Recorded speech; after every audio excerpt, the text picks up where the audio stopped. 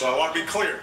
I have to kind of remind them, actually, those job numbers are the same as they were in 2015. I'm glad it's continued, but I have to say this. I don't agree with it. I don't agree with that. I believe, I believe it. I have seen it.